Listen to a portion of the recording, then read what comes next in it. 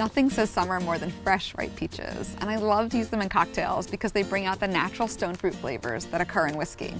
This time I made them in mason jars. It's the perfect portable cup for when you're having a picnic. Just twist it, see?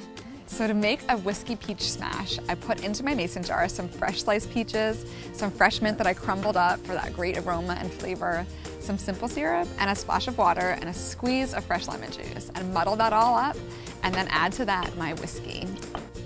And then uh, I use for this the Jack Daniels Single Barrel Select. Yes, so you can put the lids back on. And I'm gonna hand you this ice. When you get to your picnic, open it up, add a little ice, give it a good shake, add a straw, and it's ready to drink. To our summer picnic? Yeah. Peaches don't have to be just for dessert. They're great as an appetizer too. Here I used a fresh sliced peach, some salty blue cheese, some toasted almonds just chopped up, and wrapped that in prosciutto. For a little bit of color, I just added some basil, and it's a delicious appetizer. And if you're packing these appetizers to go for a picnic, it's great to use a toothpick to keep them together.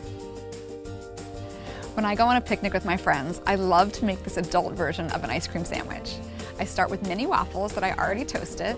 I drizzle them with some really good extra virgin olive oil, that's kind of like the syrup. Top it with a scoop of vanilla ice cream, sprinkle that with some Maldon sea salt, and it's a delicious bite.